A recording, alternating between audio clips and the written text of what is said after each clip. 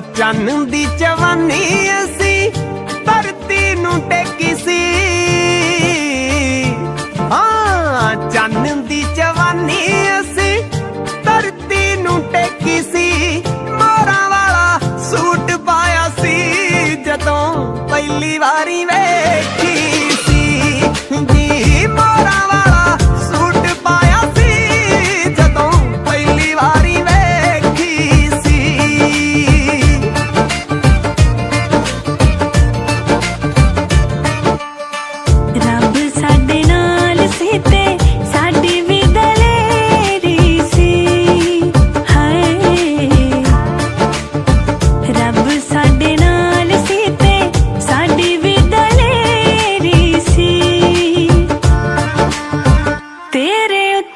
ਗੱਲ ਮੁੱਕ ਗਈ